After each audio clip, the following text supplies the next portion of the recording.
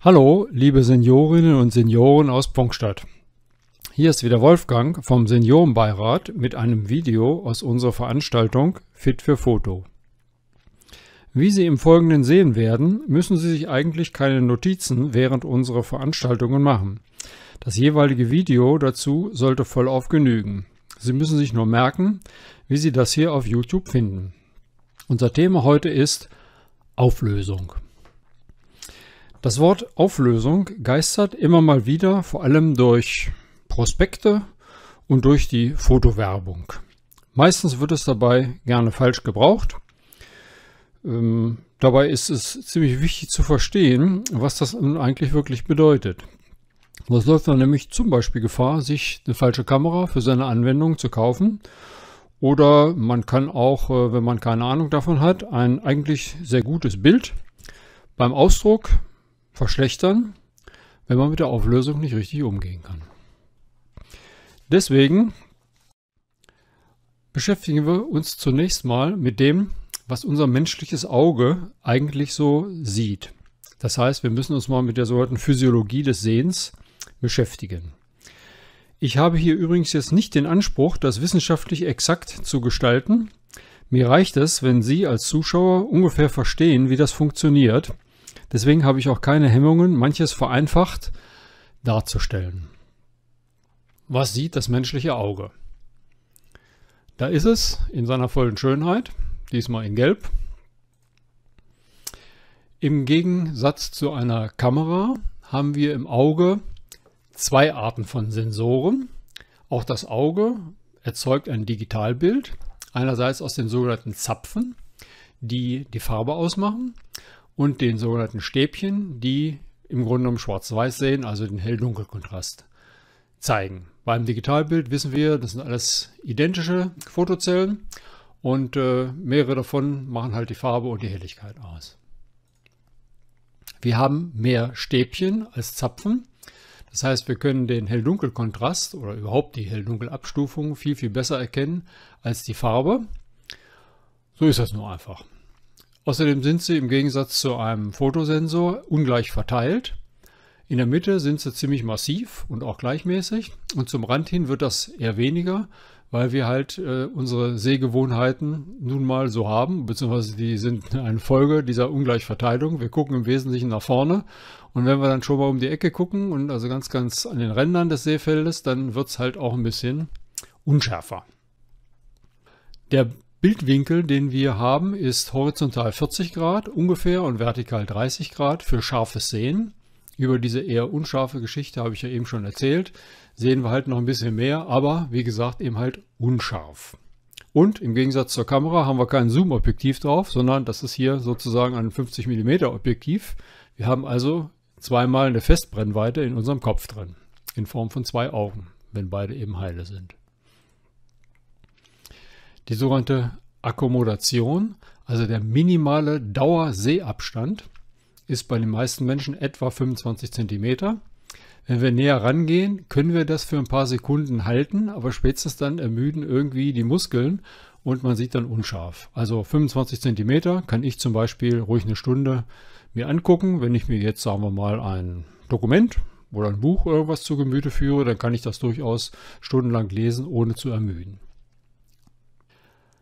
Wenn man das mal so ein bisschen umrechnet mit diesen 40 bzw. 30 Grad und dem Seeabstand von 25 cm, dann kommt man darauf, dass wir eine scharfe Bildgröße von ungefähr 16 x 12,5 cm haben, also etwa DIN A6.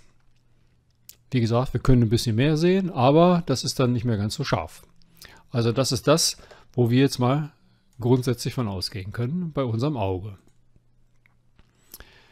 Die Auflösung, also das, was wir sozusagen an unterschiedlichen Punkten, das sind ja auch alles Punkte oder Englisch Pixel, die wir da sehen, beträgt für die Mathematiker unter euch etwa ein bis zwei Bogenminuten, das ist also ein Winkelmaß, oder für die Leute, die eher praktisch veranlagt sind, äh, bei 25 cm Abstand, Bildabstand, können wir einzelne Punkte noch wahrnehmen, etwa wenn sie ein Zehntel Millimeter auseinander sind. Dann ist Schluss. Also ein 100 Millimeter können wir nicht mehr unterscheiden. Aber ein Zehntel Millimeter können die meisten von uns vor allen Dingen im jugendlichen Alter problemlos noch unterscheiden. Das bedeutet, umgerechnet auf so eine Kamera, wir haben 1600 Spalten und 1250 Zeilen. Also definitiv weniger als das, was die meisten mit dem HD-Fernseher haben. Aber irgendwie funktioniert es gut. Mich hat jedenfalls noch kein Bär oder Löwe gefressen. Offensichtlich war ich immer schnell genug und äh, ja, vielleicht sind sie mir auch einfach nicht begegnet. Wenn ich das jetzt mal umrechne, ne, diese 1600 Spalten und die 1250 Zeilen, dann komme ich tatsächlich nur auf circa 2 Megapixel. Also unser Auge kann 2 Megapixel darstellen und nicht mehr. Und da wird natürlich sofort die Frage aufpoppen, wieso brauche ich dann eigentlich eine Kamera mit mehr als 2 Megapixel, wenn mein Auge gar nicht mehr ab kann. Ist doch im ersten Augenblick mal ein bisschen verwunderlich. Ja, gucken wir mal, was man mit so einem Bild alles noch weitermachen kann. Insbesondere, wir können ja das Bild, was wir mit der Kamera aufgenommen haben, beispielsweise anschneiden. Wir können uns einen Ausschnitt angucken und das ist, wenn man gute Bilder machen will, schon fast die Regel, weil man beim Fotografieren nicht unbedingt immer hundertprozentig genau das kriegt, was man haben möchte oder weil einem hinterher zu Hause einfällt, Mensch, da ist doch noch ein Detail, das möchte ich gerne rausholen. Ich zeige hier mal ein Bild. Das ist eine sogenannte Photovoltaikanlage zur Stromgewinnung aus Sonnenlicht. Es zeigt äh, im Wesentlichen hier diese Solarzellen mit einer ganz feinen Linienstruktur. Und äh, ich habe dieses relativ uninteressante Bild eigentlich auch nur geschossen, weil ich jetzt an dieser feinen Linienstruktur euch mal was zeigen möchte. Einen ganz bestimmten Effekt. Also, das ist das gesamte Bild. Das ist scharf. Und wenn ich möchte, könnte ich das auch zum Beispiel auf 16 x 12,5 cm ausdrucken. Jetzt interessiert mich aber ein feines Detail. Ich habe es hier mal rot eingezeichnet, dieses hier. Das möchte ich ganz gerne groß rausholen. Wenn ich das mache, kann ich das ja machen. Ich kann ja im Bildverarbeitungssystem gehen, kann diesen Ausschnitt sozusagen wählen und anschneiden und dann sieht das so aus. Was man als erstes bemerkt ist, irgendwie ist das Ganze hier scheinbar nicht so scharf wie hier. Zumindest sieht es auf diesem Bild schärfer aus, als es hier auf dem Ausschnitt aussieht. Das liegt schlicht und einfach daran, dass ich hier natürlich diese hohe Pixelanzahl, die in diesem Bild herrscht, ja runtergeschraubt habe. Ich habe ja nur einen Teil davon genommen und habe ihn jetzt genauso groß dargestellt hier wie das Originalbild. Und das ist völlig klar. Die Anzahl der Pixel verringert sich. Und jetzt sieht man hier, aus den Linien sind irgendwie so Treppenstufen geworden. Da sieht man sozusagen die Quantisierung, die Unterschiede von Pixel zu Pixel. Das Bild wird also stufig wenn ich es anschließend, diesen kleinen Teil hier, vergrößere, vielleicht genauso groß wie das Originalbild. Und wenn ich vor allen Dingen nicht mehr als 2 Megapixel zur Verfügung habe. Wenn ich jetzt 200 hätte, dann wären hier genügend viel Detailinformationen drin, sodass man das hier gar nicht sehen könnte. Aber hier sehe ich jetzt die Folgen dieses 2 Megapixel Problems. Definitiv hat bei diesen Maßstäben der Anschnitt jetzt nur noch ca. 133 mal 100 Pixel, das sind also 0,013 Megapixel. Also von den ursprünglich vorhandenen äh, hohen Auflösung ist nicht mehr allzu viel geblieben von den 2 Megapixeln. Lehre daraus, wenn es irgendwie geht und die Beleuchtung das vor allen Dingen zulässt, sollten wir schon die maximale Auflösung der Kamera wählen, damit wir in solchen Fällen bessere Chancen haben, es halt nicht als Klötzchen-Grafik darzustellen. Oder, was noch besser ist, gleich näher rangehen oder optisch zoomen, dann habe ich diesen Effekt nicht so oder zumindest nicht so in der Stärke. Eine andere Sache, die wir uns mal reinziehen müssen, ist, wir gucken ja nun so ein Bild nicht unbedingt immer aus 25 cm an. Das macht man typischerweise bei einem Buch, was man in der Hand hält oder bei einem Dokument, was man gerade in Word ausgedruckt hat, so DIN A4 mäßig. Das bringt man schon so in einen minimalen Betrachtungsabstand, weil man es ja halt auch relativ groß sehen möchte. Auf der anderen Seite wird man so ein, so ein Buch nicht auf äh, 10 Meter Entfernung lesen können, weil das ist einfach zu klein. Da wir nicht die Möglichkeit haben zu zoomen mit unserem Auge, müssen wir uns überlegen, was wir da machen können. Ja, was passiert denn, wenn wir den Betrachtungsabstand mal ändern? Vor allen Dingen, wenn wir ihn vergrößern. Ich mache mal hier ein kleines Bildchen dazu. Diese junge Dame stellt also unser Modell dar. Hier ist ihr Auge und dieses Auge, ja, das ist darauf eingerichtet, scharf zu sehen. Minimal bei 25 cm. Hier oben zeichne ich jetzt den Abstand ein jeweils und hier unten die Auflösung. Das heißt, ich kann es mir leisten, bei 25 cm Abstand zwischen Auge und dem Bild in Zehntel Millimeter aufzulösen. Besser brauche ich nicht zu werden, denn wenn ich besser werde, sieht das Auge nichts davon. Es kann ja nur maximal ein Zehntel Millimeter auseinanderhalten bei 25 cm Entfernung. Also, das ist das sozusagen die, die Augenlinien. Ne? Das ist hier diese 1 bis 2 Bogenminuten. Und die erzeugen hier halt genau das, was ich schon auf den ersten Folien gezeigt habe, bei 25 cm. Was passiert jetzt bei 50 cm? Ja, da brauche ich einfach nur diesen Linien zu folgen und dann sehe ich, aus dem 1 Zehntel Millimeter ist es hier ein Abstand von 2 Zehntel geworden. Also, wenn ich jetzt ein Blatt Papier oder ein Foto einen halben Meter von meinem Auge halte, dann kann ich dort nicht mehr ein Zehntel Millimeter unterscheiden, sondern nur noch 2 Zehntel oder ein Fünftel Millimeter. Gehe ich noch weiter, zum Beispiel mal auf eine Entfernung von 125 cm, dann ist aus den ursprünglich ein Zehntel Millimeter Abstand jetzt plötzlich ein halber Millimeter geworden. Und ja, bei 2,50 Meter ist dann aus einem Zehntel Millimeter ein Millimeter geworden. Und äh, sollte man sich vielleicht mal merken, so als, als äh, Faustformel. Ab 2,50 Meter können wir nur noch ca. 1 Millimeter auflösen. Das heißt, wenn wir jetzt dieses Dokument oder dieses Foto hier hinten mit einer viel, viel größeren Pixeldichte ausdrucken würden, nützt uns das überhaupt nichts. Allenfalls dann, wenn wir, was völlig unsinnig wäre, mit unserem Auge wieder hier auf 25 cm rangehen würden. Aber dann würden wir natürlich von dem großen Bild auch nur so einen kleinen Ausschnitt hier haben. Und wir müssten jetzt das ganze Bild stückweise abscannen, um überhaupt äh, das Ganze erkennen zu können. Wir müssen uns jetzt mal ein bisschen unterhalten über das Thema Bildgröße und die dazugehörige Druckauflösung. Später dann nicht nur Druckauflösung, sondern auch Bildschirmauflösung. Denn wir gucken uns ja Bilder nicht nur, wenn sie ausgedruckt sind oder wenn irgendeine Bilderfirma da was äh, für uns abgezogen hat an, sondern wir gucken uns ja auch im Monitor an. Aber jetzt mal eben mal die Druckauflösung. Nochmal rekapitulieren. Bei einem typischen Leseabstand von 25 cm können wir zum Beispiel auf einem DIN A6-Blatt noch ein Zehntel Millimeter auflösen. Damit es keine Probleme gibt, muss der Druck also auf jeden Fall höher auflösen, mit anderen Worten besser sein als 100 Pixel pro Zentimeter für das sogenannte Optimum. Nur wenn ich das besser mache, die einzelnen Pixels nachher auf dem, auf dem Druck besser als ein Zehntel Millimeter auseinander sind, also kleiner sind, dann kann ich ein optimales Foto oder einen optimalen Druck machen. Nun habe ich das hier mal bezogen auf einen Zentimeter, schließlich bin ich ein guter Europäer. Trotzdem hat sich international die Größenangabe bezogen auf Inch oder auf Zoll durchgesetzt. Also die Größenangabe macht man nicht in Pixel pro Zentimeter, sondern in Dots per Inch oder in Pixel per Inch. Und ein so ein Inch, das gleiche wie ein Zoll, hat 2,54 Zentimeter.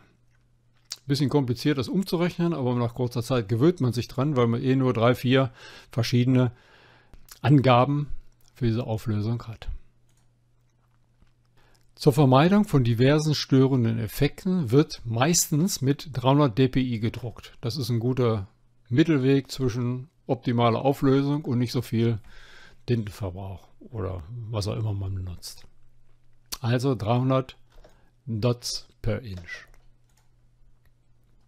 Nun habe ich ja erklärt, mehr als ca. DIN A4 sehen wir nicht gleichzeitig scharf. Wenn wir jetzt zum Beispiel ein A4-Blatt, ein A4-Blatt hätten, dann müssen wir das mehrfach mit dem Auge abtasten, damit wir alles scharf sehen. Das merken wir gar nicht mehr, weil wir das so gewohnt sind. Wir merken nicht mehr, dass wir jetzt fünf, sechs Mal hingucken müssen, um das ganze Blatt zu erfassen. Es ist uns in Fleisch und Blut übergegangen, weil wir das halt seit dem, weiß ich was, ersten Lebensjahr vermutlich schon so machen. Natürlich damit wir alles scharf sehen können, muss das ganze Bild mit mindestens 300 dpi ausgedruckt werden. Es macht jetzt keinen Sinn, wir nur den innersten Kreis da sozusagen mit 300 dpi drucken und draußen herum irgendwie das Ganze unscharf gestalten. Das, das läuft nicht, das können wir nicht machen. Dann würden wir nicht mehr natürlich sehen können. Jetzt schauen wir uns mal nicht einen Leseabstand von 25 cm an, sondern wir nehmen mal einen Leseabstand von 2,50 Meter. Und wir wissen ja, nach den letzten Folien, wir können hier nur circa 1 mm mit dem Auge auflösen. Was bedeutet das jetzt für den Ausdruck? Schlicht einfach und ergreifend. Wir brauchen jetzt nicht mehr eine Auflösung von 1 Zehntel Millimeter, weil das ja nur erkennbar wäre, wenn wir das Ding uns 25 cm vor, vor das Auge halten.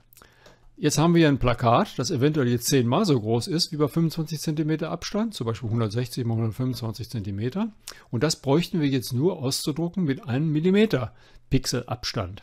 Also bedeutend weniger, als wir es machen müssten, wenn wir halt das auf 25 cm uns angucken. Auf der anderen Seite, wenn wir jetzt so ein Plakat haben, vielleicht zum Beispiel auf einer Litfaßsäule, gucken uns das in der Tat mal aus 2,50 Meter an, dann sehen wir das Ganze wie gesagt, mit einer Auflösung von etwa 1 mm. Jetzt dürfen wir natürlich nicht rangehen und uns das Plakat auf 25 cm Abstand angucken, dann sehen wir nur noch ein etwas grobes Bild, was kaum noch zusammenpasst, weil es dafür halt nicht gemacht ist. Wenn wir das machen wollen, wenn wir also zulassen wollen, dass sich irgendjemand so ein Plakat tatsächlich auch nahezu mit plattgedrückter Nase angucken möchte, dann müssen wir das natürlich mit einer ganz anderen Auflösung beglücken. Und äh, das kann mal sinnvoll sein, aber bei einer Litfaßsäule vermutlich eher nicht. Also bei diesem großen Plakat aus äh, einer Entfernung von 2,50 Meter würde jetzt ein 30 Dot per Inch Druck ausreichen. Gehe ich in die Nähe, habe ich natürlich eine Art Klötzchen-Grafik. Jetzt mal eine kurze Überblickseite. Was sind so die empfohlenen Druckauflösungen in der Praxis? Bei einem Betrachtungsabstand von 25 cm haben wir, wenn das Bild optimal sein soll, 100 Pixel pro Zentimeter entspricht 250 dpi oder rund 300 dpi. Wenn es nur passabel sein muss, also vielleicht nicht für die große Ausstellung, die internationale, sondern tja, einfach so für den Hausgebrauch, reichen schon 25 Pixel pro Zentimeter, würden 64 dpi entsprechen. Und das spart natürlich jede Menge Tinte und geht selbstverständlich auch ein bisschen schneller, obwohl das vielleicht nicht heute bei den Druckern heutzutage mehr das ganz große Problem ist. Also ich mache jetzt mal einen Unterschied zwischen optimalem und passablem Ausdruck. Also hier mal diese Tabelle. Hier unten jeweils das Produkt, dann der Betrachtungsabstand und die empfohlene Druckauflösung. Und ja, das hatte ich praktisch schon einmal gesagt. Wenn wir jetzt ein ganz normales Dokument haben, so DIN A4, irgendwie was, eine Beschreibung, was auch immer, oder ein Foto. Minimaler Betrachtungsabstand ist 300 dpi die Empfehlung. Kann man nichts falsch machen. Gehe ich in einen Betrachtungsabstand von 1 bis 2 Metern, also Poster, Plakate, vielleicht bis DIN A2, reicht 100 dpi völlig aus, es sei denn, ich möchte mir die Nase dran platt drücken. Und wenn die Plakate noch größer werden als DIN A2, dann reicht 50, weil ich dann nämlich mehr als 2 Meter weggehe.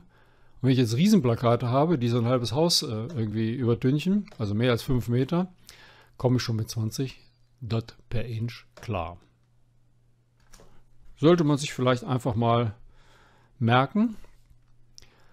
Eins ist natürlich klar. Es macht mir überhaupt gar keinen Sinn, wenn ich hier oben mit 300 dpi arbeite und mein Foto die nötigen Pixel gar nicht liefern kann. Wenn also die Datei einfach zu klein ist oder das Ding mit vielleicht nur 10 dpi aufgenommen ist das Foto. Dann kann ich es beliebig oft mit einer viel höheren Druckauflösung ausdrucken. Es wird deswegen nicht besser. Also es muss dann mindestens 300 Dot per Inch haben. Schauen wir nochmal uns das Thema an. Optimal und passabel. Wenn man das jetzt also mal im Detail sich angucken möchte, also nicht übersichtsmäßig wie bei dieser Tabelle. Ähm, ich muss ja nicht bei jeder Anwendung optimal drucken. Und wie gesagt, für eine schnelle Skizze oder zur Orientierung reicht so ein papiersparender und Drucker, tintesparender Ausdruck aus. Ich muss nur wissen, was ich will und wie ich das vor allen Dingen dann erreichen kann. Hier mal das Thema optimaler Druck. Und jetzt nehmen wir mal an, es gibt jetzt zwei Hauptbildformate. Einmal das Bild 4 zu 3 oder 3 zu 2. Und dann gucken wir uns mal jeweils den horizontalen und den vertikalen Wert an.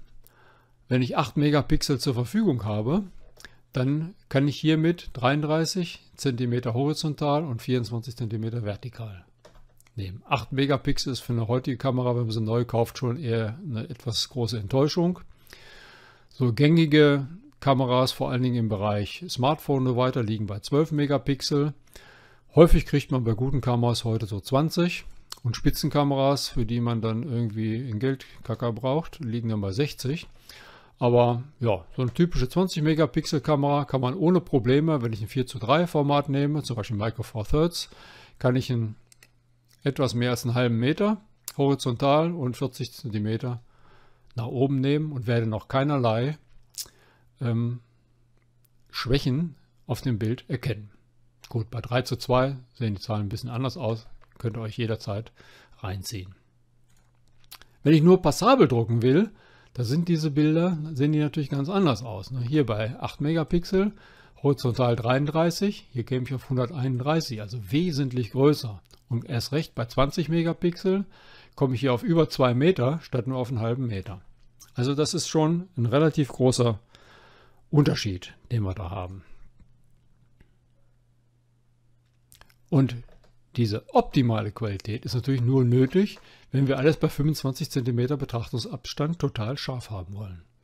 Das ist aber wirklich nur bei Dokumenten oder ja, Fotos im, im Fotobuch der Fall. Ansonsten, wenn ich mir halt durch eine Ausstellung gehe oder auf, auf einer Litfaßsäule angucke, bin ich natürlich wesentlich weiter weg und dann gelten ganz andere Gesetzmäßigkeiten.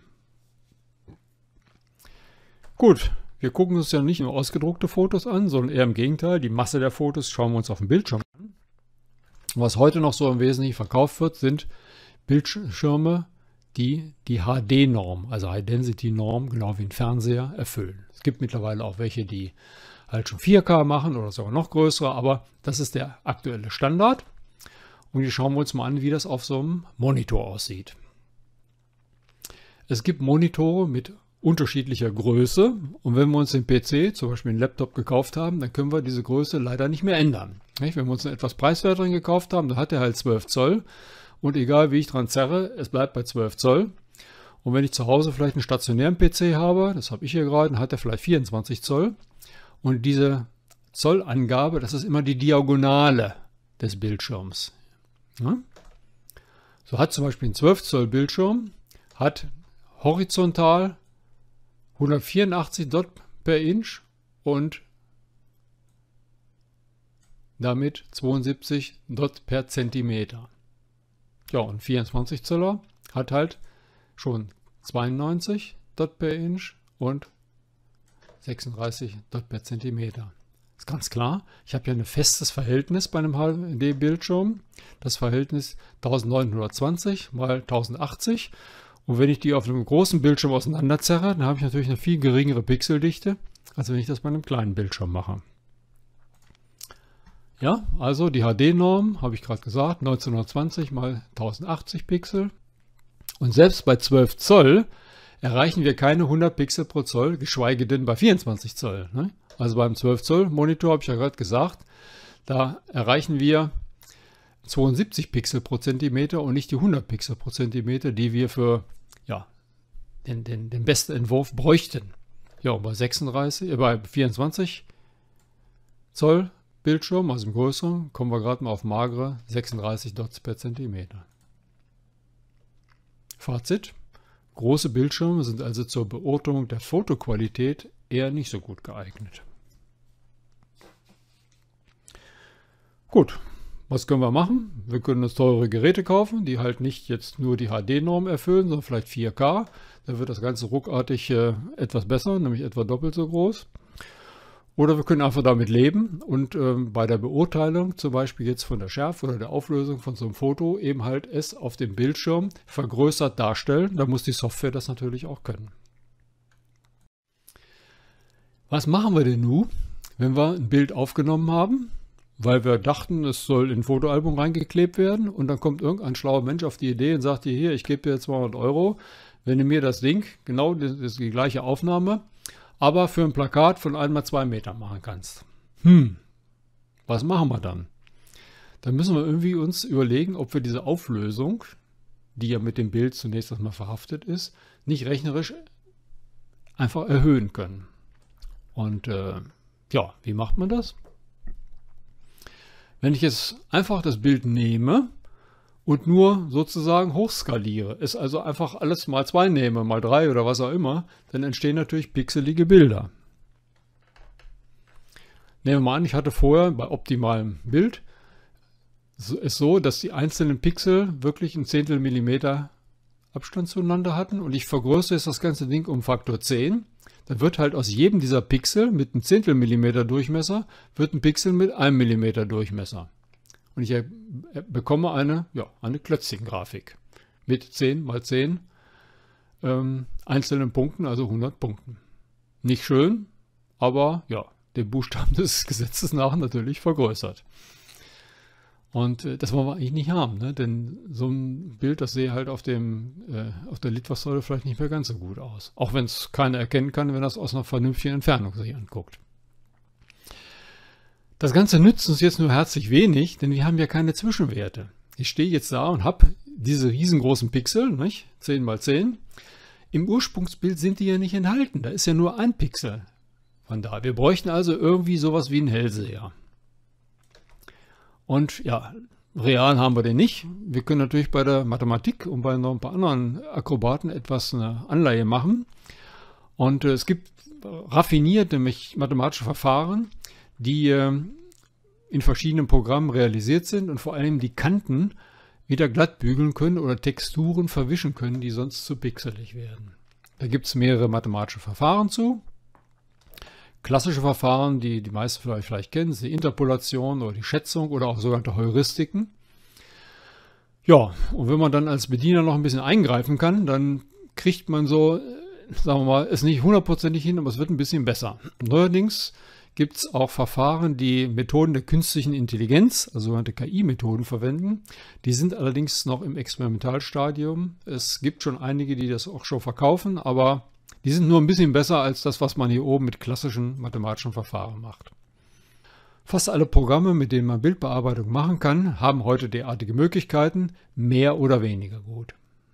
Trotzdem, das Ergebnis bleibt oft hinter den Erwartungen zurück und der tiefere Grund liegt einfach darin, wir versuchen jetzt Informationen bei der Vergrößerung des Bildes reinzukriegen, die eigentlich gar nicht da sind. Das heißt, wir müssen uns irgendeine Vorstellung von dem Bild machen, sei sie nur mathematisch oder über künstliche Intelligenzmethoden.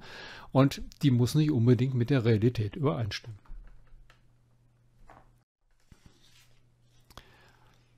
Ich gebe mal ein Beispiel dazu. Wir werden ein Bild nehmen und werden es einmal optisch vergrößern, also einfach nur auf dem Bildschirm alles mal 10 oder so nehmen. Und dann werden wir mal einen mathematischen Ansatz nehmen mit dem wir die Sache vielleicht ein bisschen anders gestalten können. Das ist hier das eigentliche Bild. Das äh, habe ich mal aufgenommen. Müsst ihr mir jetzt einfach glauben. Es ist halt auf dem Bildschirm, sieht man das nicht so. Also die klassische 16 x 12,5 bei 300 dpi. Also dieses Bild ist das, was man maximal gut darstellen kann. So, und jetzt nehmen wir mal diesen Ausschnitt hier oben und den machen wir einmal nur rein optisch vergrößert und dann einmal mathematisch vergrößert. Gucken wir uns den mal an. Also hier der reine, die reine optische Vergrößerung. Und man sieht, wenn ich das mit dem Faktor 10 vergrößere, also diesen Ausschnitt habe, dass das Ganze doch hier schon ganz schön pixelig wird. Sieht fast aus wie ein Sägeblatt, wo vorher alles glatt war. Also Vergrößerung des Originalbildes am oberen Sternzacken. Und das wäre jetzt mit einem sogenannten bilinearen Algorithmus vergrößert und man sieht, dass diese Zacken hier sauber, mehr oder weniger sauber raus manipuliert wurden. So hundertprozentig hat es nicht geklappt, aber es ist wesentlich besser als das hier. Das kostet eigentlich nur ein bisschen Zeit, wenn das entsprechende Bildbearbeitungsprogramm das verinnerlicht hat, sodass man sagen kann, naja, es ist vielleicht nicht der Weisheit letzter Schluss, aber es ist auf jeden Fall nicht mehr so stufig, zwar noch nicht vollkommen, aber besser als nichts. Das ist auch der Stand der Technik. Also wir sind durchaus in der Lage, auch Bilder, die vielleicht vergrößert werden müssen, so zu behandeln, dass es ein bisschen besser ist als so eine stufige, einfache Geschichte. Wir müssen uns nur darüber im Klaren sein, dass wir damit nicht alle Ansprüche erfüllen können.